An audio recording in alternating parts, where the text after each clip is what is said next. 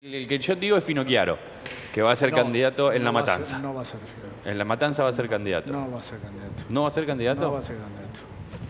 Yo soy presidente de la Comisión de Educación. Sí. Alguna información puedo tener. No, no, está perfecto. A mí me dieron ese dato, no digo que a mí me dieron el a dato. ver, sí. A mí me dieron el dato que está caminando, que se está mostrando, Sí, que con- y él, él es oriundo de La Matanza sí. Y tiene aspiraciones políticas Sí. y, y tiene voluntad en- eh, política en La ¿Pero no es este sí, año? Exactamente. Yo creo que puede ser que en el 2019 sí vaya por una pelea de fondo. Una intendencia. Epa, epa, qué dato.